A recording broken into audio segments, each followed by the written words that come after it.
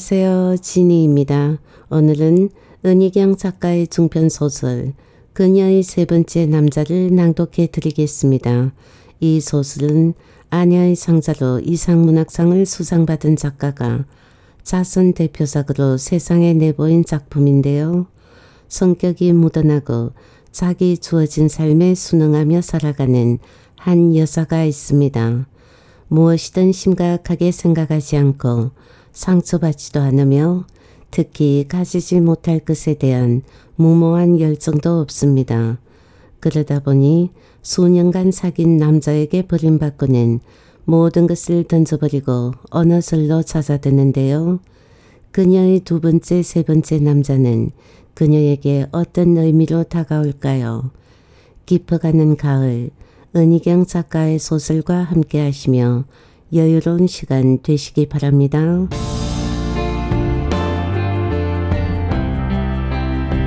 그녀의 세 번째 남자 지연이 은희경 구름 두께 10km 그녀는 신문을 읽고 있었대. 오후의 햇살이 비쳐들어 사무실 안은 나른했대. 그녀의 책상에 있는 곳은 창가 바로 아래 자리였대. 열어놓은 창으로 바람이 들어와 신문지 귀퉁이가 펄럭거렸대. 신문 오른쪽 면을 향해 고개를 돌린 채 그녀는 손바닥으로 왼쪽 귀퉁이를 쓸어냈다. 바람이 세지 않은데도 신문은 자꾸만 덜쳐졌다. 그녀는 귀찮은 듯이 아예 신문 위에 왼손을 올려놓고 있었다. 넷째 손가락에서 장식 없는 반지가 햇빛을 받아 반짝였다. 책상 오른쪽에는 연필꽂이와 메모지, 슬라이드 필름이 끼워진 원고, 그리고 필름을 확대해서 보는 루페가 놓여 있었대. 왼쪽에는 화면 보호 상태인 컴퓨터 모니터가 지루한 궤도로의 우주여행을 반복하고 있었대. 그녀는 생각난 듯이 안경을 벗어 닦았다. 그 작고 날렵한 수입 뿔테는 그녀의 갸름한 얼굴에 잘 어울렸다. 어제 세탁소에서 찾아온 크림색 시폰 블라우스와 올리브색 체크 무늬의 랩 스커트 안에서 그녀는 왼쪽으로 꼬았던 다리를 오른쪽으로 바꾸었다. 다른 날과 다른 것은 아무것도 없었다. 신문 기사도 마찬가지였다. 세상 어디에선가 또 폭탄 테러가 일어났고 그에 대처한 중요한 회의들이 열리고 있었다. 선거철이 되었으므로 그 회의에서의 발언은 신경증적이 될 수밖에 없었는데 유권자에게만은 자신만만하고 웃는 표정만을 보여줘야 하기 때문에 전속 유머 작가들이 연설문 작성에 동원되었다. 그리고 또 누군가가 뇌물을 받았다. 계좌 추적과 출국 정지. 그녀는 신문을 넘겼다. 몇 년 전에도 왔었던 영국의 팝 가수가 공항에 도착했으며 재작년에 죽은 영문학자의 제자들이 기념비를 세우려고 모금을 시작했다. 그 영문학자는 그녀도 잘 아는 사람이었다. 전 직장이었던 출판사에서 그 학자의 전집을 출간했다. 그의 책을 열권 만드는 동안 그녀는 6년의 세월을 흘려보냈고 아랫사람 세설 거느린 과장이 되는 한편 노처녀도 되었던 것이다. 그녀는 영문학자의 기사만은 제목만 훑어보지 않고 처음부터 끝까지 내용을 샅샅이 읽었다. 그러나 관심이 없기는 다른 기사와 똑같았다. 그녀는 다시 신문을 넘겼다. 한밤 같은 서울 대낮. 그 제목을 향해 그녀는 약간 얼굴을 기울였다. 그리고 고딕체로 된 사진 설명을 읽어내려갔다. 25일 오후 4시 10분부터 약 30여 분간 서울 이런 하늘에 시커먼 먹구름이 끼어 한낮 속의 밤 같은 현상이 일어났다. 이 때문에 차량들이 모두 라이트를 켠 채 운행했고 시민들은 불안해 기상청에 문의 전화를 걸기도 했다. 기상청은 한냉 전선이 지나갈 때 대기가 불안정해지면서 구름 두께가 평시보다 두배 이상 두꺼운 10km 정도 되는 경우가 있으며 어제 낮에도 같은 현상이 일어났다고 설명했다. 그녀는 계속해서 신문을 볼 수가 없었대. 그때 바로 전화벨이 울렸으며 10분 후에는 회사 앞의 카페에 앉아 오늘로만 세 잔째인 커피를 마셔야 할지 아니면 떫은 맛을 참아가며 녹차를 마셔야 할지 결정을 내려야 했기 때문이다. 그녀를 불러낸 친구는 망설임 없이 커피를 시켰다. 아르바이트라는 글씨를 가슴에 달고 초록빛 에이프런을 입은 여자애는 친구가 커피하자 네 라고 끝을 올리며 상냥하게 대답한 다음 묻는 눈을 하고 그녀 쪽으로 얼굴을 돌렸다. 그녀는 여자의 눈속을 똑바로 쳐다보며 말없이 고개를 끄덕여 보였다. 블렌드 커피 두 잔요. 감사합니다. 여자애는 그 말을 터무니없이 쾌활하고 들뜬 목소리로 말했다. 기계적인 동작으로 인사를 한 뒤 뒤돌아 사라지는 여자의 에이프런 속을 발목 교정을 하는 구두처럼 투박한 검은 부츠가 걸어가고 있었다. 그녀는 마치 자동 인형 같은 여자의 뒷모습을 주의 깊게 쳐다보았다. 그러나 그 뒷모습에 태엽 같은 것은 보이지 않았다.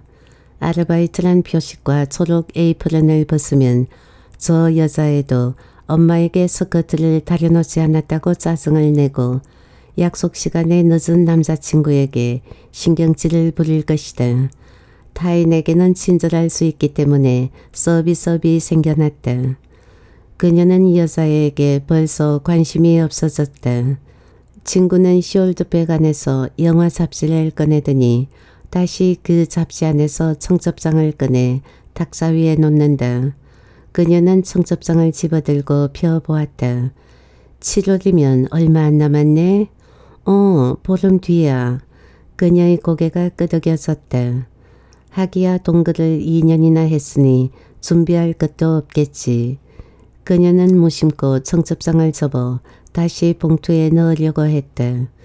그러다가 갑자기 청첩장 속의 어떤 글자에 시선을 박은 채 한참을 가만히 있었다.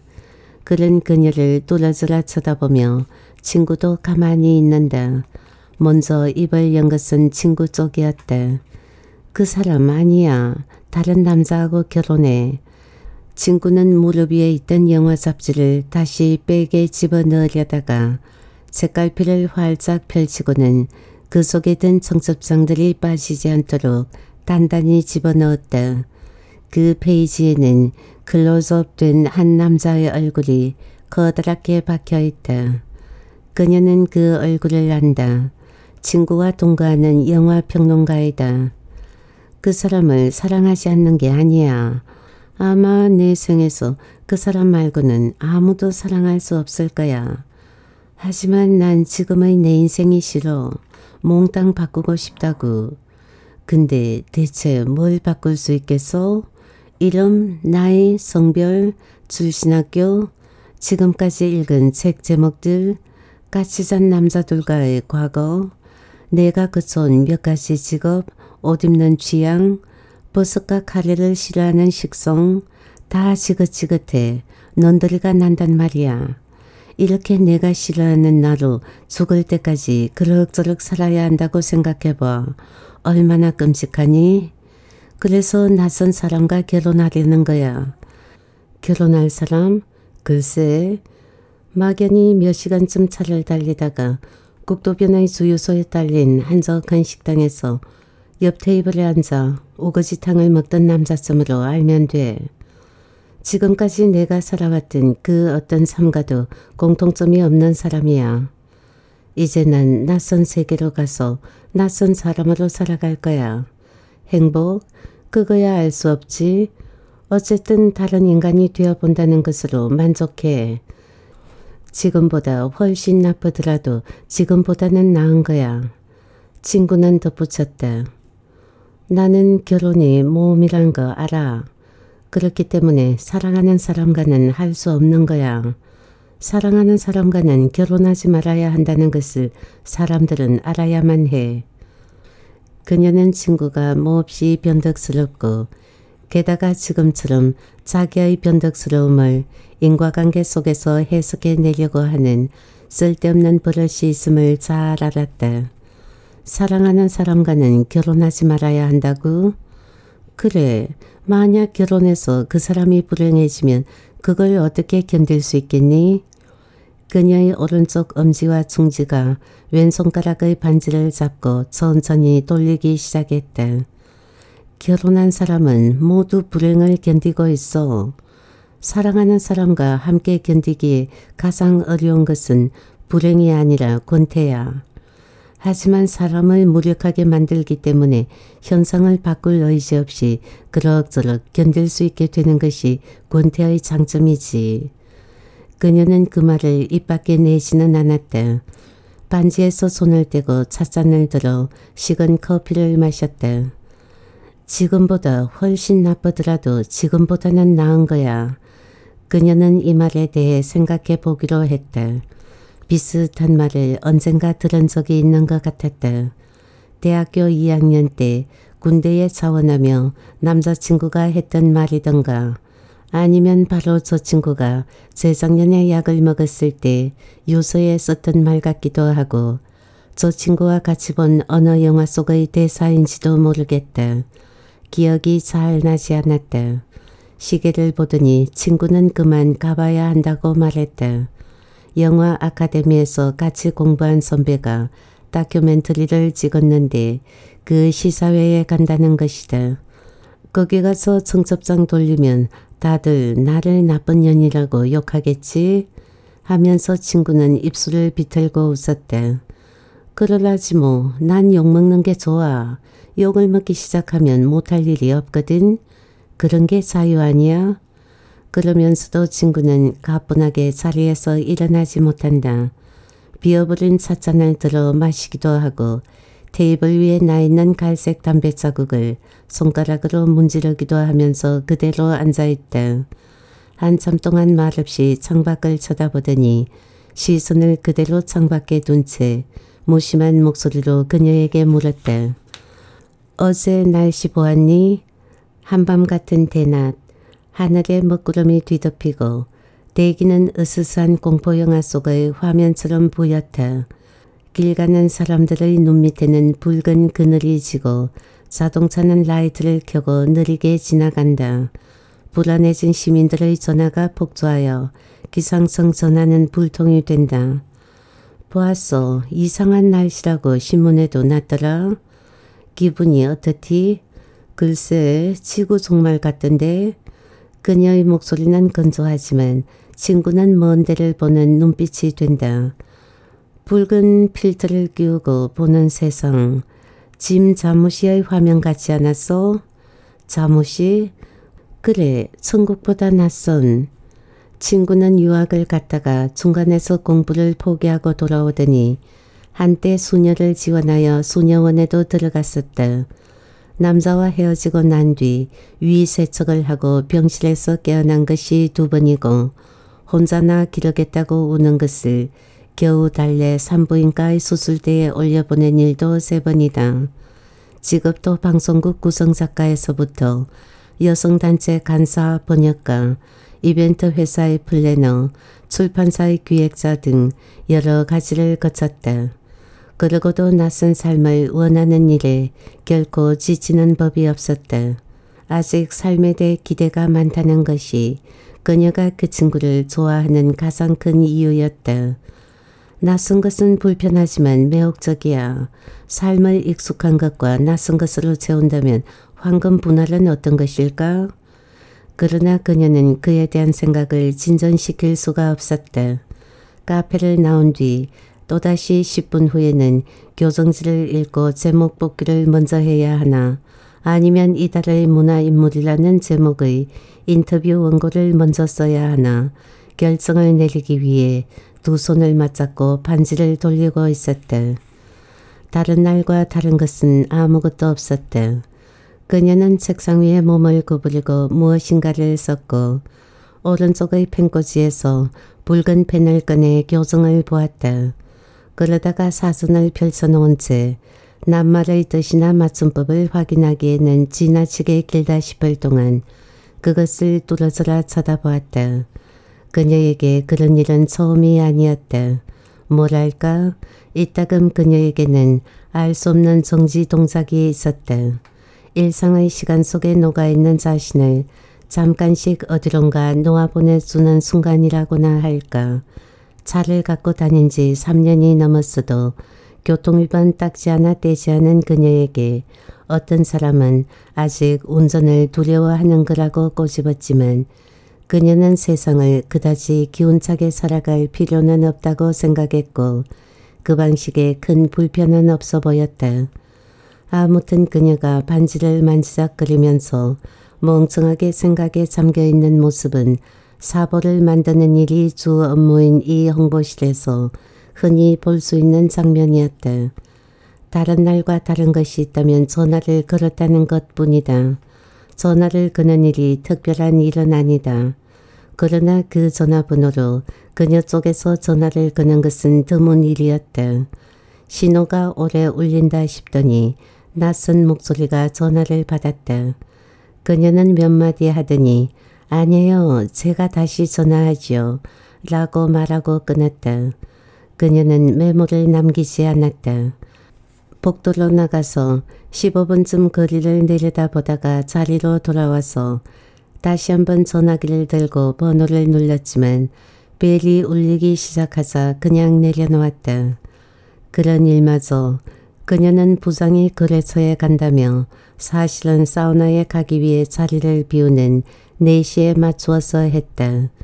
그녀는 6시 정각에 퇴근을 했다. 오래전 여관 톨게이트에서 그녀는 잠깐 머뭇거렸다. 그러나 일단 고속도로로 접어들자 3시간을 내리 달렸다. 그녀의 표정은 불안이나 결연함 그 어느 쪽도 아니었다. 휴게소의 현금 지급기가 고장난 것을 알았을 때 그리고 사람들이 북적거리는 공중 화장실의 문을 열고 나올 때 딱 두 번 이마를 찡그렸을 뿐이다. 밤이 깊었다는 것을 그녀는 좀 늦게 깨달았다. 영동이라는 표지판을 보고 벌써 다 왔나 싶은 얼굴로 그저야 차 안의 디지털 시계를 내려다보았던 것이다. 고속도로를 벗어나 읍내로 들어가서 불 꺼진 우체국 앞에 차를 세우고 우체통 속으로 사표를 집어넣을 때에도 그녀의 표정은 평소와 그다지 다르지 않았다. 우체통 옆에 있는 공중전화 부스에 들어가 어딘가로 전화를 걸었지만 그녀는 신호가 떨어지자마자 송수화기를 내려놓았다. 그때에도 얼굴이 담담했다. 영빈상이라는 간판 앞에 그녀는 차를 세웠다. 그 근처에서 가장 높은 건물인 그 3층짜리 여관은 낡고 한산했다. 방을 잡고 난 다음 그녀는 샤워를 했다. 눅눅한 발닦이에 발을 닦고 뿌연 거울을 들여다보았다. 그녀는 거울 속에서 증이라는 글자의 이형이 반점 떨어져 나가고 지엇이 시옷이 되어 수처럼 보이는 붉은 글씨를 보았다. 그녀는 분명 전에 이 여관에 온 적이 있었다. 아니라면 지금처럼 그 거울이 뿌옇지 않고 반짝반짝 빛나며 수가 아니라 증이라고 또렷이 새겨진 궁체의 기억을 갖고 있을 리가 없다. 그러나 그녀는 아무것도 기억나지 않는 사람처럼 침대 밑에서 기어나오는 바퀴벌레를 보고 짐짓 놀랐다. 다음날 그녀는 정오가 다 되어서야 일어났다. 너무 늦게까지 잤다는 것을 알고는 급히 몸을 일으켰지만 다음 순간 놀랄 이유가 없다는 것을 깨닫고 다시 퀴퀴한 베개에 머리를 내려놓았다. 30분쯤 더 누워있다가 일어난 그녀는 느릿느릿 세수를 하고 밖으로 나갔다. 그녀는 내실이라고 쓰인 작은 창문을 두들겨 주인 여자에게 해장국집의 위치를 물었다. 오른쪽으로 돌아 나가면 바로 식당이 있어요. 주인 여자는 그녀가 하루 더 묵을 거라고 하자 시골 아줌마들의 표준 헤어스타일인 파마머리를 걱적이며 손불이에요 하고 말했다. 다 지워지고 입술 테두리에만 남은 붉은 립스틱, 콧등과 이마에 얼룩진 분자국, 졸음이 덮쳐와서 뭉개진 얼굴 표정, 주인 여자의 얼굴에 선명한 것이라고는 문신으로 새긴 반다령 눈썹뿐이었다. 돈을 지불하며 그녀는 주인 여자에게 물었다. 영추사로 가려면 어느 길로 가야 하죠? 영추사? 그럼 무주로 들어가서 물어봐야지. 터미널 가서 물어봐요. 터미널 옆에 새로 난 길이 있는데 그리로 한 시간은 올라가야 할걸. 산꼭대기에 있으니까요. 산꼭대기라고요? 그녀가 되묻자 반쯤 눈을 감은 주인 여사는 되는 대로 고개를 끄덕이며 말했다. 전에 영추사에 가본 적이 있나 보네. 그 영추사는 없어졌어요. 물속으로 들어간 지 3, 4년 됐을 텐데 한전에서 발전소인지 댐인지 만들 때 산꼭대기로 저를 옮겼다고 하대요. 아무튼 무주가거든 거기서 물어봐요. 그 말을 끝으로 작은 유리문이 탁 소리내며 닫히고 내실이라는 글자가 그녀 눈앞을 가로막았다. 그녀는 늘 졸고 있는 그 주인 여자의 영빈장에서 사흘을 더 묵었다. 텔레비전과 바퀴벌레 그리고 권태로운 자에게도 너무 많다 싶은 시간들과 함께 사일째 되던 날 그녀는 다른 때보다 일찍 일어났다. 아침을 먹기로 마음먹은 것도 변화라면 변화였다. 그날은 주인 여자에게도 변신의 날이었던지 그녀가 내실 앞을 지나는데 주인 여자가 작은 창문을 열고 인사를 했다. 막 화장을 마친 새빨간 입술, 거기에서 나오는 말투도 다른 날과 달리 또렷하게 들려왔다. 아침 먹으러 나가요? 네. 그럼 장구경도 좀 하지 그래요? 장구경요? 오늘이 여기 영동의 장날이에요. 서울 사람들은 일부러 구경도 오던데 살 것은 없어도 구경은 할 만할걸.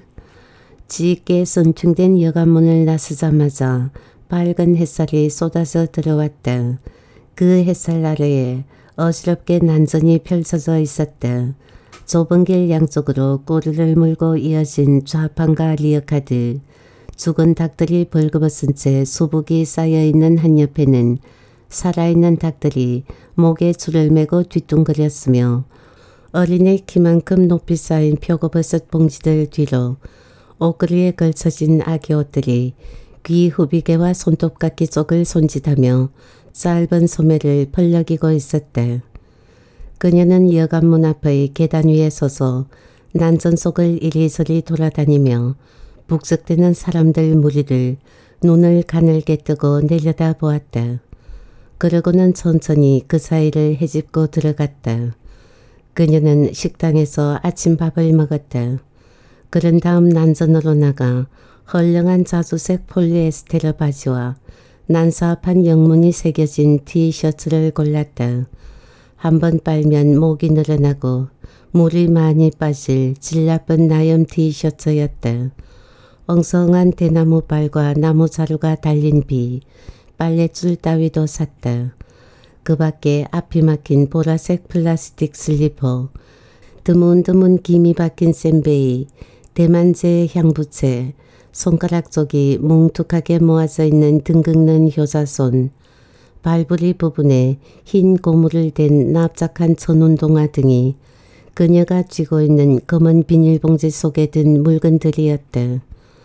그녀는 꼭 이곳에 장을 보러 오기 위해 별렸던 사람처럼 당연하게 움직였다. 슬리퍼를 살 때는 주인이 보라색과 파란색을 번갈아 쳐들어 보이는 바람에 색깔을 결정하지 못해서 머뭇거렸는데 그녀가 사지 않을까봐 불안해진 주인이 300원을 깎아주자 그녀는 기쁘기까지 했다. 사람들 사이에 이리저리 휩쓸려 다니는 그녀의 모습에서 특별히 눈에 띄는 점은 없었다. 시폰 블라우스와 랩 스커트가 때묻고 구겨서 다소 질질찮게 보이긴 해도 뒤로 묶은 생머리나 화장기 없는 부석부석한 얼굴에 약간 어리둥절한 표정이 산후조리를 마치고 오랜만에 외출한 세대 같기도 했다. 그러나 그녀가 산 도무지 맥락이 닿지 않는 물건의 종류를 보면 그녀가 아무 생각 없이 시간을 보내고 있다는 사실은 쉽게 짐작할 수 있는 일이었다. 그녀가 마지막으로 산 것은 은색 모조 진주에 금도금으로 잔뜩 모양을 부린 조잡한 반지였다. 검은색 우단 위에 한 줄로 꽂혀 있는 반지를 구경하고 있었더니 액셔서리 리어카의 젊은 주인이 그녀의 손가락을 쳐다보며 말을 붙여왔던 것이다.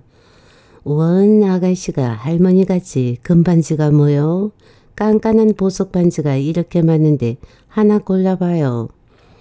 주인은 바로 전에 나이 든 아주머니에게 고리 부분에 벌써 도금이 벗겨지기 시작한 금속 목걸이를 팔고 나서 상당히 고무되어 있었다. 이거 한번 껴봐요. 이런 세련된 물건은 아가씨 같은 멋쟁이가 껴줘야지 반지 입장에서도 보람이 있지. 한번 껴보라니까 부담 갖지 말고 자 어디 봐요.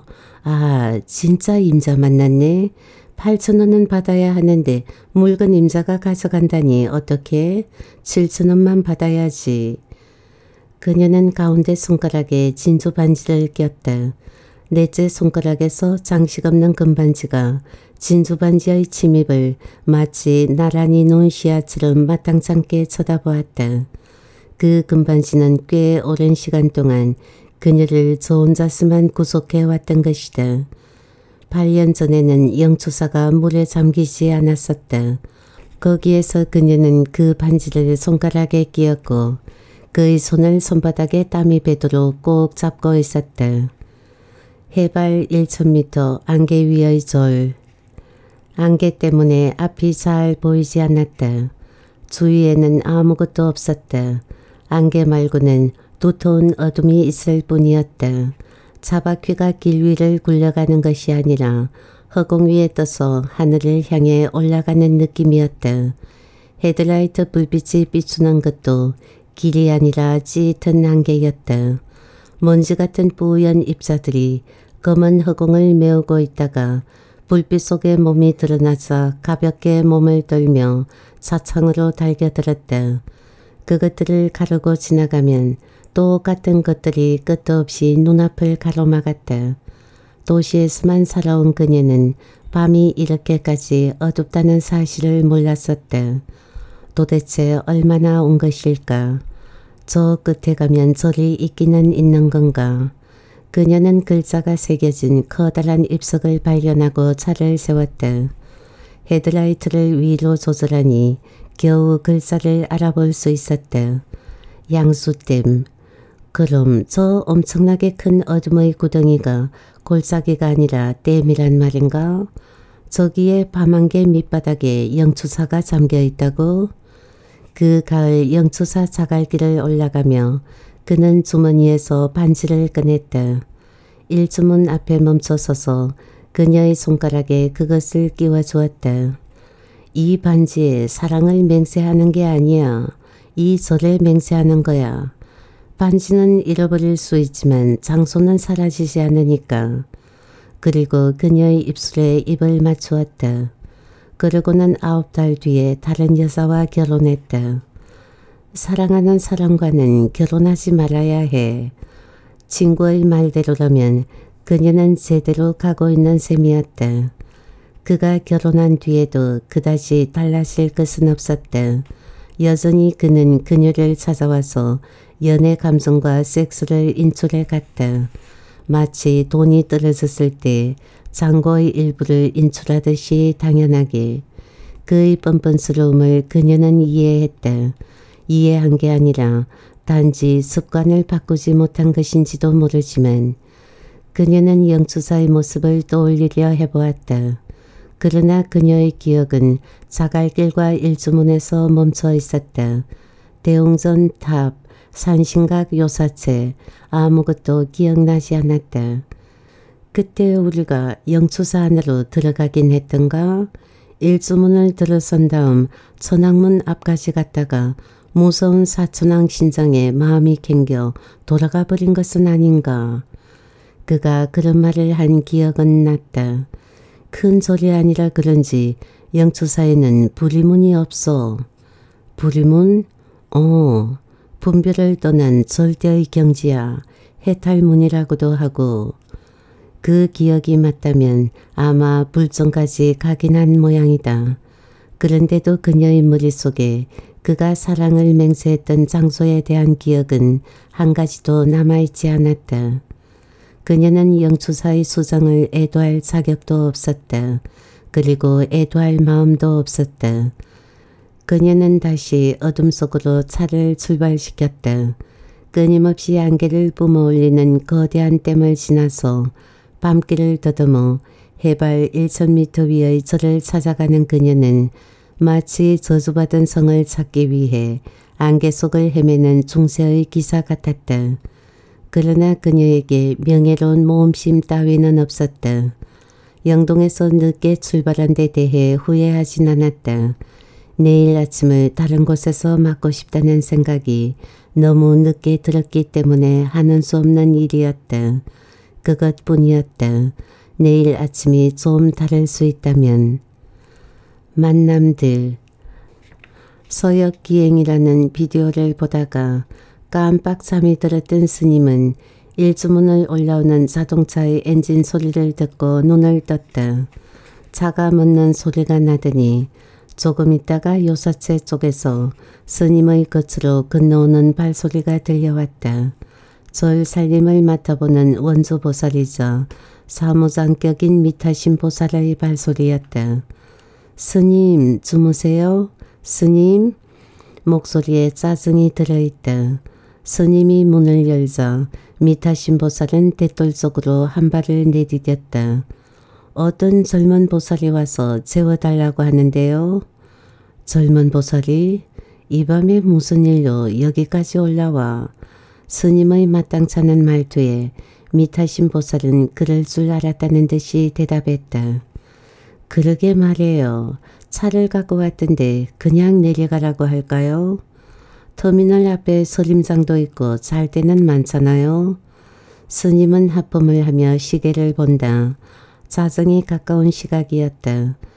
미타심 보살방에서 재우고 내일 내려가라고 하지 새벽 예불 끝나면 좀 나와 보라고 하고 스님은 다시 서역 기행 화면으로 눈을 돌리며 깊은 생각을 하지도 않았다. 길이든 중생에 대한 연민도 아니었고 무슨 인연설 따위에 대해 예감을 품은 것도 아니었다. 스님은 끄덕끄덕 졸다가 얼마 안가 이부자리를 펴고 누웠다. 스님이 방문을 닫아버리자 미타신 보살은 못마땅하게 입을 다물었다. 미타신 보살은 불심이 두터운 만큼 그렇지 않은 속세의 사람을 자기와 구별해 생각하는 버릇이 있었다. 저를 비신처로 생각하여 속된 사연을 잔뜩 짊어지고 오는 사람들이나 절에 왔으면 부처님께 절부터 올릴 일이지 법당에는 관심 없고 쓸데없이 요사체만 기웃거리며 소란을 피우는 호기심 많은 소풍객들이 미타신 보살에게는 다 장군 숙비로 따끔하게 다스려야 할 이방인들이었다. 미타신 보살은 외부 사람에게 선방을 선선히 빌려주는 스님이 못마땅할 때도 적지 않았다. 작년에는 자칭 불자라는 낯선 사람을 선방에 재워주었다가 귀한 탱화를 도둑맞은 적도 있다. 스님도 그 뒤로는 낯선 사람을 절에 재우기를 꺼려왔다. 남 모르는 젊은 보살을 재워주다니 스님답지 않은 일이었다. 스님이 있는 수선당을 물러나와 요사치로 향하는 미타신 보살의 발걸음은 내키지 않아 하는 기색이 역력했다. 스님의 방 옆에는 법회 때 집회 장소로 쓰는 커다란 마루방이 있었다. 그리고 그 건너에는 조그만 선방이 두 개 있었는데 그 중 하나에서 막 잠에서 깨어난 남자가 있었다. 새로 불사를 벌이는 절에는 일꾼들이 자주 와서 머물렀다. 남자는 목수였다. 불단도 손질하고 마루도 칠하고 물류도 새로 꾸미고 할 일이 많아 며칠 묵는 중이었다. 그는 잠기가 어두운 편이었는데 왜 깨었는지 몰라 몇 마디 투덜거렸다. 부엌일을 하는 나이든 공양수 보살이 담가두었던 자수를 마시고 잔 탓에 목이 말랐던 남자는 물을 마시러 밖으로 나와 요사체 쪽으로 올라갔다. 남자는 자기가 원하던 물조선자가 마루 끝에 놓여 있는 것을 보았다. 반대편의 마루 끝에는 젊은 여자 하나가 멍청하니 앉아 있었다. 물 주전자의 주둥이를 입에서 조금 떨어뜨리고 주전자를 기울여 물을 콸콸 마시며 남자는 옆눈으로 여자를 힐끔거렸다. 시골에서 흔히 보아온 헐렁한 자주색 나일론 바지에 영문이 새겨진 티셔츠를 입고 어울리지 않게 안경을 쓴 젊은 여자는 남자 쪽에 눈길 한번 주지 않았다. 절마당에 가득 찬 안개만 홀린 듯 쳐다보고 있었다. 그러나 그녀는 안개를 보는 것이 아니었다. 개를 보고 있었다. 개가 세 마리나 되었다. 두 마리는 털이 누렇고 늠름한 게 수컷 같았고 나머지 한 마리는 귀가 쫑긋하고 몸집이 작은 하얀 개였다. 암컷이 틀림없을 하얀 개는 희미한 불빛 아래에서 보기에도 보통 매력적인 자태가 아니었다. 그녀를 경계하느라 이를 드러내놓고 낮게 크르렁거리며 서 있는 두 마리의 수컷 뒤에 새침하게 도사리고 앉은 품이 은빛 여우 같았다. 조금 전 미타신 보살이 와서 퉁명스럽게 이 방으로 들어오세요 했을 때 그녀는 잠깐 마루에서 엉덩이를 들었는데 그것을 보고 두 마리의 수컷이 안심한 듯 마루 밑으로 기어 들어가는데 반하여 하얀 개는 늘씬한 다리를 펴고 서더니 작게 컹 하고 그녀를 향해 짖는 것이었다. 그녀는 하얀 개가 마음에 들었다. 그녀는 마루에서 몸을 일으켰다. 앞부리에 하얀 고무를 덧댄 납작한 그녀의 운동화가 마루 왼쪽에 있는 수도가로 향했다. 그녀가 외다리 수도관에 비스듬히 기대 있던 양은 대야를 내려놓자 바닥에 흙이 있었던지 찌그럭 소리가 났다. 그 소리는 생각보다 컸다. 깊은 밤에 산꼭대기의 절에서 손을 씻는 그녀의 물소리는 퍽 조심스러웠었다. 너무 조심했던 탓인지 쭈그렸다 일어나던 그녀는 자기 등 뒤에 서 있던 하얀 물체를 보고 급하게 숨을 멈추었다. 그러나 그것이 하얀 게임을 알자 그녀는 자기가 안심했다는 것을 보여주기 위해 무심코 하얀 개의 머리를 만지려고 손을 뻗었다. 그것은 대단히 부주의한 행동이었다. 갑자기 마루 밑에서 두 마리의 수컷이 여왕의 진위대처럼 컹 하고 진군 나팔을 불며 그녀를 향해 달려나왔던 것이다. 남자가 말려주지 않았다면 그녀는 개에게 물렸을지도 모른다. 남자는 개를 발로 내지르며 이놈의 개새끼들이 가서 쾅못 처박히냐 하고 위협했다. 개들이 마루 밑으로 들어가서 또 한 번 개새끼들 하고 욕을 덧붙여 준 다음 그녀를 향해 이를 드러내며 흐흐흐 웃음으로써 자기가 한 일에 대해 거칠게 만족을 표시했다. 그러고는 손에 들고 있던 주전자를 높이 쳐들고 이번에는 입을 직접 주둥이에 대고 빨더니 입안 가득 물었던 물을 여자의 발밑에 도사물처럼 쫙 뱉고는 슬리퍼를 질질 끌며 가버렸다. 미타신 보살의 생각 이튿날부터 그녀는 남자의 옆방에 머물게 되었다. 스님이 방을 치워주라고 하자 미타신 보살은 영문을 모르겠다는 듯이 눈을 동그랗게 뜨더니 알든 모르든 불쾌하기는 마찬가지였으므로 반발의 뜻으로 얼굴을 붉혔다. 저 보살한테 선방을 내주라고요? 영추사에서 밑하신 보살은 술타가 사선 조지 스님보다 오히려 실세였다. 밑하신 보살의 목소리가 꼿꼿했으므로 스님은 달래듯 말했다. 오래 있진 않을 거예요. 뭐하든 여산 줄도 모르고 함부로 들였다가 어쩌시려고요. 며칠 쉬게 해준다고 해서 나무 속내까지 일일이 물어볼 거 뭐 있겠어요? 그러나 그쯤에서 넘어가려던 스님은 미타신 보살에게 설명을 하는 편이 낫겠다고 생각을 바꾸었다. 새벽 예불 마치고 얘기를 좀 해보았는데 아마 영추사가 물에 잠기기 전에 거기에서 결혼식을 올린 모양이에요.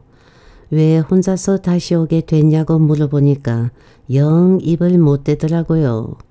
아무래도 남편이 어떻게 됐구나 싶어 나도 더는 안 물어보았지. 그때부터 미타신 보살은 그녀를 눈여겨보기 시작했다.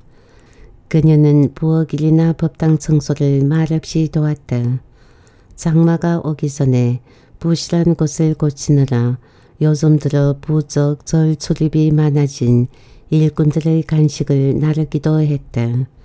불목하니 처사 하나 없이 미타신 보살과 공양주 보살뿐이라 그렇지 않아도 일손이 달리는 영추사에서 그녀는 그럭저럭 밥값은 하는 셈이었다. 2, 3일 그녀를 눈여겨본 미타신 보살은 젊은 여자가 차를 갖고 온 것으로 보아 만만찮은 직업이나 배경을 갖고 있으리라 든 처음의 선입견을 버렸다. 옷차림과 갖고 온 보통이를 보아도 그녀의 말대로 도시 변두리의 가구점 점원이었다는 말이 사실인 듯도 싶었다. 그녀가 자기 이름조차 말하지 않을 정도로 워낙 입이 무거웠으므로 까탈스러운 미타신 보살로서도 더 이상은 그녀에 대해 알 수가 없었다.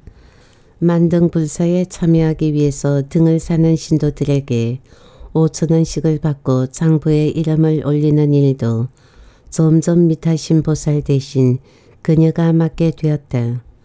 공양주 보살이 글자를 쓸 줄 모르기 때문에 만등 불사의 접수를 받기 위해서는 잠시도 법당을 뜰 수 없었던 미타신 보살로서도 그녀의 존재를 마땅찮아 할 수 없게 되었다.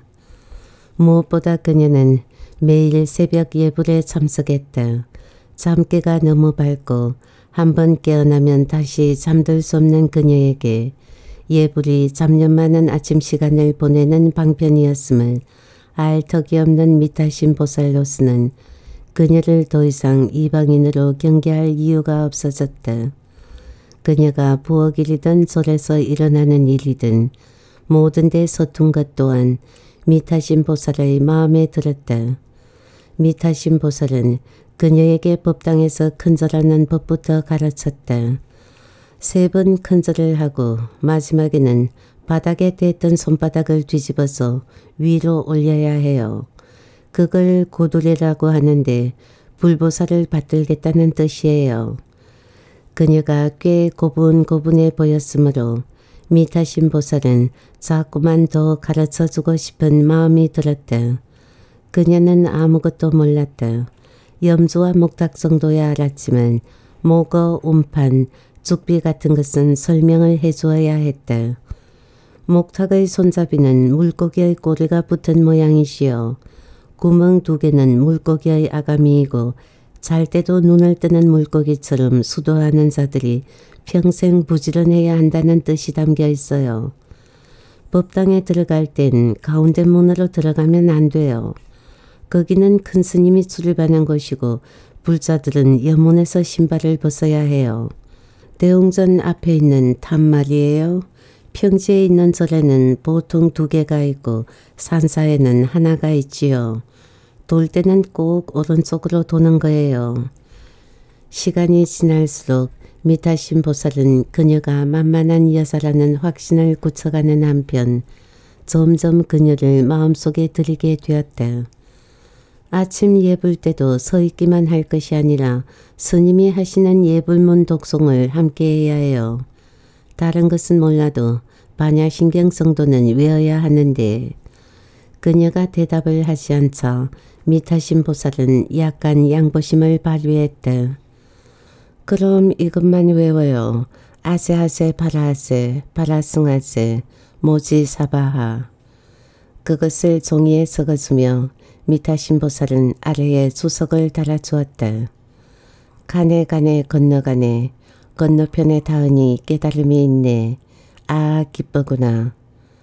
다음날 새벽 예불 때 반야심경의 마지막 구절을 따라 입술을 들썩이는 것을 보고 미타신보살은 만족한 나머지 불단의 청정수를 올리는 기쁨을 그녀에게 양보하기도 했다. 미타신보살이 새벽에 일어나 맨 처음 하는 일은 법당에 설치된 방범장치의 전원을 차단하는 것이었다. 미타 신보살은 그 일도 그녀에게 맡겼다. 영추사는 외지고 작은 소리였다. 자신은 잘 모르고 있었을 테지만 미타 신 보살도 외로움에서 완전히 해탈한 것은 아니었다. 남자의 생각 남자는 호기심을 가지고 그녀를 눈여겨보았다. 옆방을 쓰고 있다고는 해도 그녀가 방 밖으로 잘 나오지 않았으므로 말을 걸어볼 기회는 별로 없었다. 밤에도 요사차에서 선방으로 돌아오자마자 그녀의 방에는 바로 불이 꺼졌다. 대돌 위에 보라색 플라스틱 슬리퍼를 벗어놓고 한 번 방으로 들어가면 새벽 예불 때까지 기척이 없었다. 남자는 일부러 라디오 볼륨을 높여보기도 하고 요란하게 문소리를 내며 들락날락해 보았지만 소용없었다. 막일을 하는 나보다도 더 잠이 깊다니. 남자는 그녀가 둔해서 그런 건 아니라고 생각했다. 무슨 병이 있거나 아니면 자기를 의식해서 일부러 시치미를 떼고 가만히 누워있는 거라고 여겼다. 개에 관한 그녀의 생각. 그녀는 개에게 가끔 샌베이를 주었다. 그녀가 방에서 나오는 기척이 들리면 어떻게 알았는지 벌써 개들이 달려왔다. 수컷 두 마리는 그녀의 무릎에 머리를 부비기도 하고 손바닥을 핥기도 했지만 하얀 개는 언제나처럼 몇 발짝 뒤에 서 있었다. 그녀는 김이 박힌 샌베이 몇 개를 무릎에 올려놓고 부서뜨린 다음 개들에게 던져주었다. 수컷들은 정신없이 샌베이를 핥기 시작했다. 거친 콧김을 내뿜으며 자기 발밑에 있는 부스러기를 주섬주섬 핥으면서도 그 사이 다른 놈의 발밑에 떨어진 부스러기를 그놈이 다 먹어치워 버릴까봐 옆눈으로 연신 그쪽을 쳐다보았다. 하얀 개도 샌베이를 먹고 싶어 했다. 입맛을 다시듯이 분홍색 혓바닥을 몇번 내렴거렸고 마치 자동차 뒷좌석에 놓인 목이 헐거운 강아지 인형처럼 고개를 갸우뚱갸우뚱하며 수컷들을 쳐다보았다. 그러면서도 가까이 오지는 않고 계속 그대로 버텨서 있는 것이었다. 그녀는 조금 다가가기만 해도 하얀 개가 멀리 도망쳐 버린다는 것을 알고 있었다. 조심스럽게 겨냥을 하여 샌베이를 하얀 개의 앞발에까지 던져주었다. 샌베이를 준 이후부터 개들이 그녀를 따르기 시작했다. 며칠 뒤부터인가 그녀는 마음이 시들해서 개를 보고도 샌베이를 주지 않았다. 이상한 일은 그런데도 개들이 여전히 그녀를 좋아한다는 것이었다. 법당이나 요사체 마당, 그녀의 방에 있는 수선당의 선방마루, 어디에서건 그녀와 마주치기만 하면 달려와 꼬리를 흔들었다. 과자를 주면 좋아하지만 안 준다고 해서 원망을 하지도 않는 모양이었다. 개들은 과자를 먹게 해줘서 그녀를 좋아하게 되었는지 아니면 개 따위에게 인정을 베푸는 인품을 흠모해서 좋아하게 되었는지에 대해서는 복잡하게 생각하지 않는 듯 했다. 그동안 개를 좋아하지도 않고 키워본 적도 없었으므로 그녀는 개에 관해 아무런 견해도 갖고 있지 않았다. 그러나 이제 개를 알 듯도 싶었다. 개는 주인이 매일같이 귀여워하다가 갑자기 걷어차더라도 오랫동안 슬퍼하거나 노하지 않는다. 그 일의 심각성에 대해서 10분 이상 고민할 만큼 진지하지도 않다. 다음 날이면 또 와서 꼬리를 친다. 왜 부당하게 걷어차여야 하냐고 항변하거나 이렇게 살아서 뭐하냐고 자기 연민에 빠지지도 않으며 걷어차이지 않을 권리가 있다고 태업을 하거나 단식을 하지도 않는다. 언제든지 주인의 발밑에 엎드려 있다가 불러주는 순간 감격하여 달려가는 게 개이다. 그녀는 영주사에서 거의 생각 없이 시간을 보내고 있었다. 만약 생각하는 게 있다면 이처럼 개에 관한 것이었다.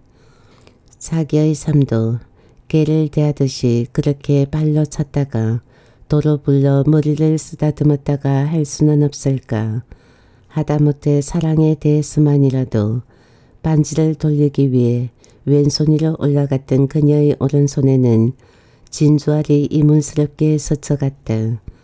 두 마리의 수컷과 하얀 개는 아무데서나 홀레를 붙었다. 그녀가 본 것만도 서너 번이나 되었다. 처음 그 장면을 보았을 때 그녀는 하얀 개에게 무척 실망을 했다. 거만함이 사라지고 한낱 암컷으로서의 정체를 드러내고 있는 그 동물의 곁을 그녀는 차갑게 스쳐 지나가려 하였다. 그러나 그녀는 하얀 개의 눈가가 젖어 있는 것을 보았다. 수컷과 엉덩이를 이어붙이고 일직선으로 서 있는 하얀 개는 몹시 고통스러워하고 있었다. 어떤 종류의 쾌감에서 오는 적극적인 고통이 아니었다. 하얀 개는 견디고 있을 뿐이었다. 수컷이 하얀 개의 꽁무니에서 뻘겋고 길쭉한 것을 빼낸 뒤 하얀 개는 몇 걸음 쩔룩거리다가 기운 없이 바닥에 엎드렸다. 수컷이 와서 핥으려고 하자 하얀 개는 머리를 비스듬히 바닥에 붙인 채로 낮게 크르르 하며 수컷에 대한 증오를 표시했다. 수컷과 하얀 개는 법당 앞에서 엉덩이를 붙이고 있다가 미타신 보살에게 여지없이 짝대기를 얻어맞기도 했다. 저것들이 하필 법당 앞에서 하면서 미타신 보살은 발을 동동 굴렸다. 주지스님의 출타가 잦았으므로 영투사에서는 비군이 절처럼 절 지키는 개가 필요했다. 그런데도 미타신 보살은 개들을 아랫 동네로 보내버려야겠다고 이쁘라처럼 말했다. 미타신 보살은 하얀 개를 특히 싫어했다. 꼭 여우같이 생겨갖고 수컷을 홀리는 것 좀 봐요. 저게 산에서 내려온 산개예요. 주인이 팔았는데 개장수한테서 도망쳐서 산으로 갔대요. 그 다음부터는 저렇게 사람을 안 따라요. 먹을 게 없어서 그랬는지 작년 겨울에 산에서 내려왔는데 내려오자마자 앞내를 풍기더니 수놈들 정신을 쏙 빼갔어. 새끼 한 배만 낳으면 쫓아버려야지. 저것들이 절에서 안 다니는 데 없이 엉켜갖고 뒹굴고 다니면 좋을 게 뭐 있겠어요? 미타신 보살이 그런 말을 하고 밥상머리를 떠나면 남자는 비식 웃으며 혼잣말을 하곤 했다. 참네 귀양사리 같은 산꼭대기에서 개들이라도 할 짓 다 해야지. 누가 말려? 그러고는 그녀를 흘끗 쳐다보는 것이었다. 수컷들은 하얀 개를 건드리지 않으면 좀이 쑤시는 모양이었다. 하얀 개가 앞서 걸어가면 어느새 달려가 엉덩이를 핥았고 하얀 개가 싫다고 으르렁하며 이를 드러내면 어느 틈에 등 위에 올라타서 목을 깨물었다. 그러면 하얀 개는 입을 벌리고 고기를 낚아채듯이 턱을 이리저리 움직이며 몇 번인가 수컷을 향해 위협을 했지만 두 마리의 수컷은 아랑곳없이 양쪽에서 하얀 개를 공격해 들어가 마침내 세 마리가 엉키며 서로 몸을 부비게 되곤 했다. 개들이 핥고 엉키는 것을 그녀는 물끄러미 쳐다보고 있었다. 남자가 지나가며 휙 하고 발을 굴려 개들이 놀라 달아나게 만들었다. 남자도 아니고 여자가 웬 개구경을 그렇게 좋아해요? 라고 남자는 약간 음흉하게 웃었다. 붙는 거 보려고 기다리는 거요? 목액은 수건을 풀어 더러운 바지에 대고 탈탈 털자 그녀의 눈앞에서 먼지가 일었다. 남자가 말했다. 저렴만 있기 답답하지 않아요? 저녁에 내려가서 커피 한 잔 할래요? 도망친 개 쪽을 쳐다보던 그녀는 시선을 돌려 먼지 나는 남자를 물끄러미 쳐다보았다. 장마철 먼 곳으로의 전화. 그에게 꼭 한번 전화를 걸었다. 장마가 시작되어 비가 억수같이 퍼붓는 밤이었다. 날짜 가는데 마음을 쓰지 않았으므로 서울을 떠나온 지 며칠 만인지는 모른다. 아마 열흘은 넘지 않았을 것이다. 비가 쏟아지던 날밤 그녀는 혼자 영추사를 지키고 있었다. 저녁 낮을만 해도 잔뜩 흐리기만 하고 비는 오지 않았었다. 낯선 스님 한 사람이 요사체 쪽으로 들었으며 미타신 보살을 불렀다. 그녀와 함께 부성비를 다듬던 공양주 보살이 나가보더니 반색을 했다. 아이고 스님.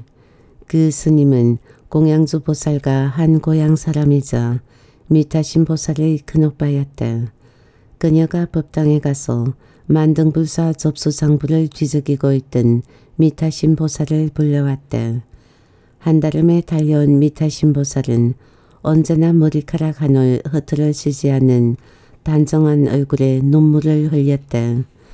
미타신 보살이 잠긴 목소리로 어떻게 여기까지 올라왔소?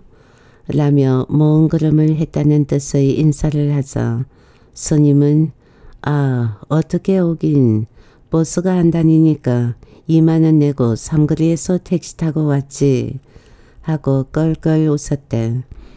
그녀가 다시 쭈그리고 앉아 나무를 다듬고 있는데 미타신 보살이 부엌으로 들어와 보살님 하고 그녀를 불렀대. 조금 뒤에 미타신 보살과 낯선 스님 그리고 공양주 보살은 저녁을 먹으러 마을로 내려갔다. 그들을 태워가기 위해서 연장과 자세가 잔뜩 실려있던 남자의 픽업 트럭과 남자도 같이 가야 했다. 그녀에게 맡기고 저를 비우는 데 대해서 공양주 보살은 마음이 놓이지 않는 얼굴인데 반해 오히려 미타신 보살은 들떠 있었다. 절대로 이런 일이 없을 텐데 다 보살님을 믿으니까 맡기는 거예요. 다른 건 신경 쓸 거 없고 전화만 잘 받으면 돼요. 스님한테 연락 오면 7시까지는 들어올 거라고 해주고 미타심 보살은 전에 없이 빈틈을 보였다. 만약 그때까지 못 오게 되면 보살님이 얘기 좀 잘해줘요. 비는 픽업 트럭이 출발한 지 한 시간쯤 뒤부터 쏟아지기 시작했다. 그녀는 요사채 마루에 앉아 비를 쳐다보았다. 오른쪽으로 보이는 대웅전과 그 앞에 서 있는 탑, 조금 아래로 물러나 돌아앉은 화장실 건물이 다 비를 맞고 있었다. 대웅전 뒤에 지붕만 보이는 극락전도 극락이 있다는 서쪽을 등진 채 묵묵하기만 했다. 선방이 있는 수선당은 멀찌감치 떨어져 있기도 했지만 빗줄기와 어둠에 가려 잘 보이지 않았다. 무섭도록 캄캄한 밤이었다. 빈 절에는 숨막힐 듯한 정적과 어둠뿐이었다. 그리고 그 위로 쏟아져 내리는 빗줄기와 귀가 아픈 빗소리, 전화는 한 통도 걸려오지 않았다.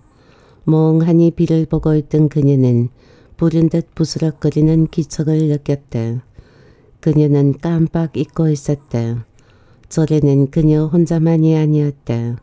마루 밑을 내려다보자 소리 없이 웅크리고 있던 세 마리의 개의 눈이 희미하게 빛나며 그녀 쪽을 향했다.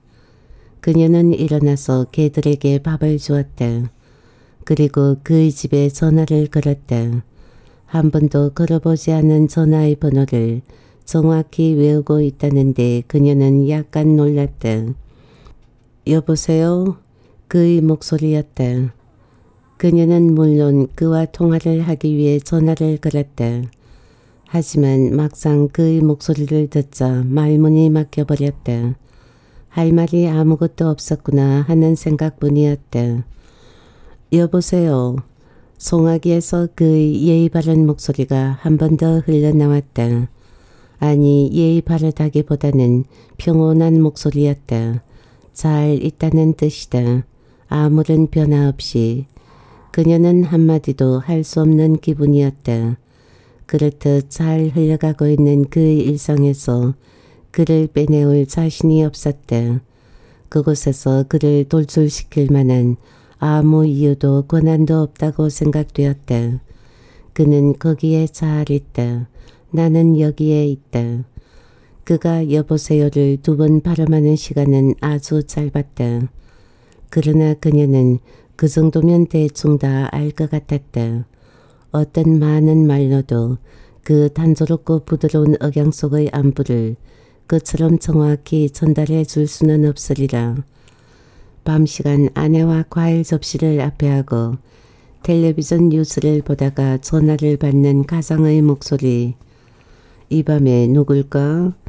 괜찮아요. 그래도 우리는 방해받지 않으니까 누가 불러내도 나가지 않을 테고 누가 긴 소식을 전해도 짧게 통화를 끝낼 테니까. 전화를 끊은 다음 아내가 누구야 하면 어 아무개 있잖아. 논문이 통과됐다고 내일 저녁이나 먹자고. 점심으로 때울 일이지 술 마시기 싫어하는 사람을 꼭 저녁 시간에 불러내. 어 당신 아무개 알지? 아버지 상을 당했다는데 온라인으로 부조금이나 좀 보내지 뭐. 우리에게 전화를 걸 사람이 누구이든 틈입자일 뿐이며 사실 우리는 그렇게 틈을 내줄 마음이 없으므로 당신은 초라한 틈입자인 거지요. 아 여보세요? 그녀가 전화기를 내려놓자 전화를 하는 동안 잠시 숨을 죽이고 있었다는 듯이 쏴 하며 빗소리가 거세게 귀청을 때렸다. 그녀는 다시 마루에 나와 앉았다.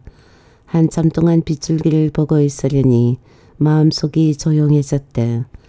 미타신 보살은 그녀에게 평상심에 대해서도 가르쳤다. 사람이 무언가를 안다는 것은 잘못 안다는 뜻과 똑같단다. 도란 아무것도 분별하지 않는 것이다. 도에 이르면 텅 비어 확 트일 것이니 옳고 그름도 없단다. 평범하고 예사로운 일상의 마음이 도이다. 그러나 그녀는 도에 대해서 그다지 관심이 없었다. 밥을 일찍 먹어 치운 하얀 개가 부엌 앞에 멀찌감치 앉아 그녀를 쳐다보고 있었다. 그녀는 하얀 개를 향해 희미하게 웃어주었다. 그들이 사랑한 시간. 세수를 하고 와서 거울을 들여다보던 그녀는 며칠 사이에 얼굴이 많이 그을렸다는 것을 알았다. 직장 생활을 하면서 시작한 화장이 재작년에 서른을 넘기면서부터 점점 진해진다 싶었던 그녀는 맨 얼굴로 사람들 앞에 나서는 일이 거의 없었다. 그를 만나러 갈 때는 주름살을 감추려고 더 신경을 썼다. 너도 많이 늙었구나. 어느 날 그가 창이 커다란 찻집의 창가 자리에서 말했다. 하긴 처음 만났을 때 우리는 스물다섯 살이었어. 그때는 내 인생이 이런 식으로 옥편이나 뒤적거리다가 끝날 줄은 몰랐지. 그는 국학연구소에서 고전 총서의 편집을 책임지는 일을 그런 식으로 자소적으로 말하곤 했다. 그뿐이 아니었다. 치질 수술을 하고 며칠 후에 만났을 때는 벌써 33이라니 예수는 이 나이에 세상을 구했다는데 나는 내 몸뚱이 하나 건사하기도 힘들어. 하고는 안점새를 고치며 얼굴을 찡그렸다. 탁본을 뜬다고 한학자 몇 명과 강원도 어디를 다녀온 뒤에는 밥줄이니까 할 수 없다고는 해도 참네. 서로 최고봉이니 석학이니 하고 다투고 있는 노인네들 비위 맞추는 짓도 이제 더는 못할 것 같아. 하고는 짐짓 한숨을 내쉬었다. 나중에 들어보니 그는 초저녁부터 초당 두부에 막걸리를 마시고 일찌감치 잠이 들었다고 했다. 그런데도 언제나 그녀 앞에서 자기 인생에 대해 탄식했으며 그것을 거의 즐기는 정도였다. 그럴 때마다 그녀는 이마를 약간 좁히며 다정하게 위로했다.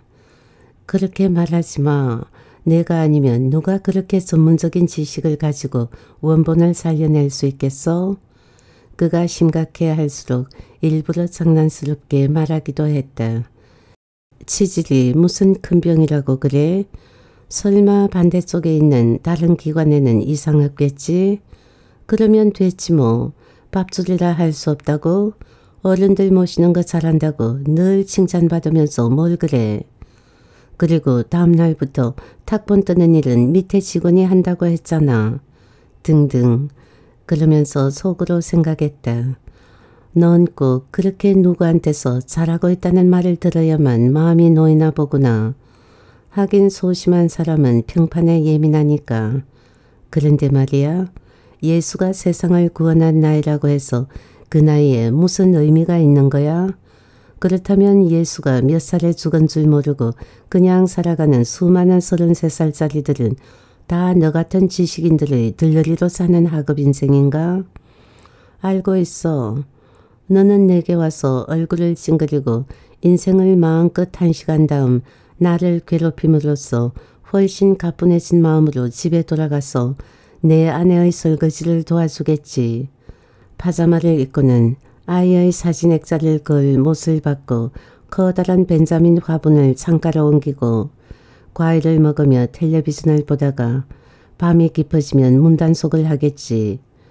일찍 퇴근한 평일 저녁에는 배드민턴 라켓을 옆에 끼고서 가까운 공원으로 산책을 가고 말이야. 올해는 하필 내 생일이 일요일이어서 너는 금요일에 미리 축하를 한 다음 미안해 주말을 비우면 마누라가 의심한다고 라고 했어. 생일날 나는 내 생일날의 고독이라는 외국 에세이집을 읽은 다음 하루 종일 바게트빵과 커피를 먹으며 집에 틀어박혀 비디오를 보고 있었는데 며칠 뒤 너는 강화도 가는 길이 너무 좋더라. 근데 일요일에는 막혔어 말이야. 라고 덧붙이더라. 언젠가 그녀가 여관 욕실에서 샤워를 하고 있는데 방 안에서 전화를 하는 그의 목소리가 들려왔다. 비누질을 하느라고 물을 잠그고 있어 그녀의 귀에까지 들려온 것이었다. 어, 한 시간 후에 갈게. 일이 그렇게 됐다니까? 저녁은 집에 들어가서 먹을 거야. 그녀는 다시 물을 틀었기 때문에 다음 말은 들을 수 없었다. 오늘은 왜 이렇게 새침해? 영 젖지를 않네. 좀 움직여봐. 그런 말을 하며 그는 그녀를 안았고 약속대로 한 시간 후에는 집으로 돌아갔다. 그러나 그런 일들로 상처받기에는 그녀의 성격은 좀 건조했다. 그녀는 삶을 받아들이는 편이었다. 무엇이든 깊이 생각하지 않았으며 특히 가지지 못할 것에 대한 무모한 열정 따위는 일찍 폐기시키는 법을 알고 있었다. 지금보다 훨씬 나쁘더라도 지금보다는 나은 거야. 생각해보니 그 말은 친구가 자주 했던 말이었다. 낯선 곳으로 몸을 던질 때마다 친구는 불안하지 않다는 듯이 그 말을 되풀이했다. 하지만 그녀의 머릿속에는 지금보다 나은 어떤 것이라곤 도무지 떠오르지 않았다. 달력을 넘기면서 시간이 흘러가는 것을 지켜볼 뿐이었다. 그를 만나러 갈 때마다 주름살에 신경을 쓰는 것은 그녀보다 어린 그의 아내를 의식해서가 아니었다.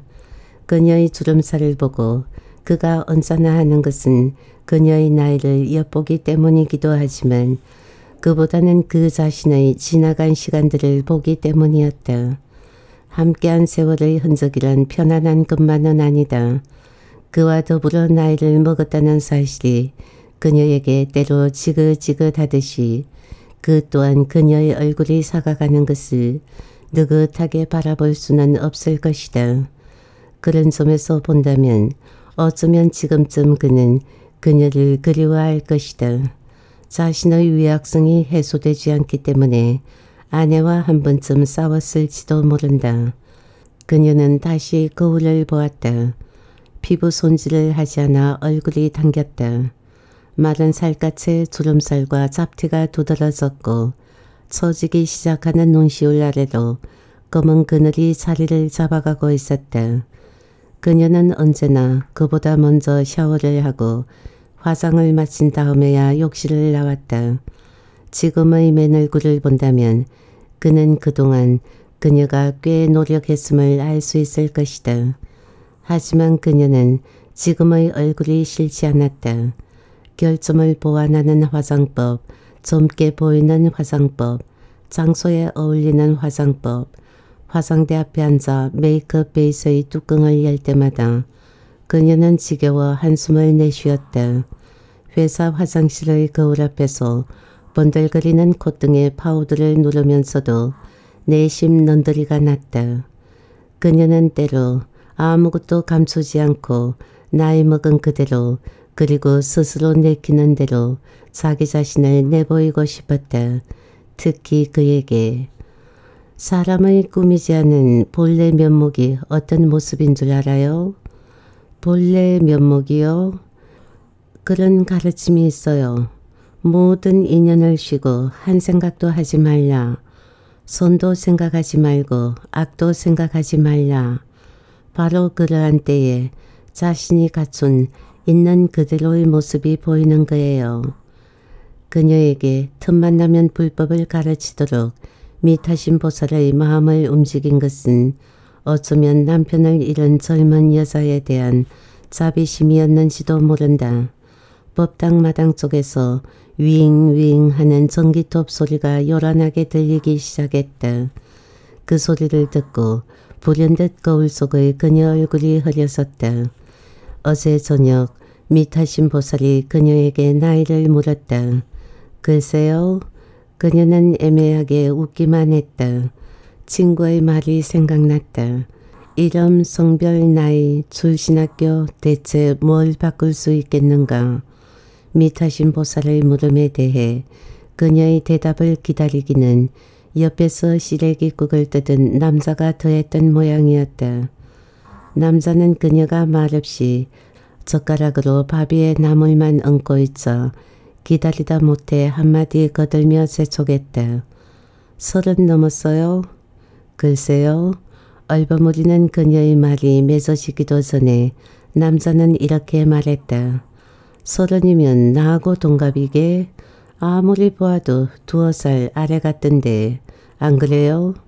그때 부엌보살이 고개를 끄덕이며 그래 얼굴이 아직 애기 살결 같은데 라고 하자 남자는 마치 자기 아내가 칭찬을 받았을 경우에나 지어야 할 웃음을 만들며 좋아했던 것이다.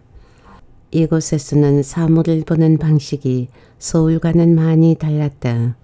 그러나 그녀는 서로 다른 방식들을 비교해 볼 마음은 없었다.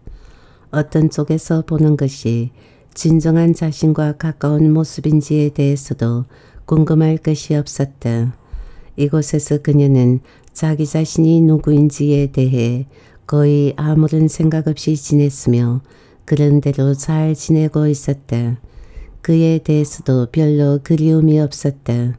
스스로 생각하기에도 뜻밖이긴 했지만 그 역시 이유를 따져보고 싶지는 않았다.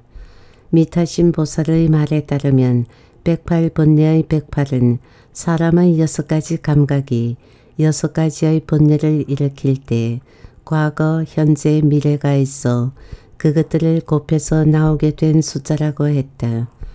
여섯 가지 번뇌에는 좋음, 나쁨, 즐거움, 괴로움 뿐만 아니라 좋지도 나쁘지도 않음과 즐겁지도 괴롭지도 않음도 들어있었다. 그 말을 들으니 그녀는 자기를 떠나오게 한 것이 무엇인지는 알 듯도 싶었다.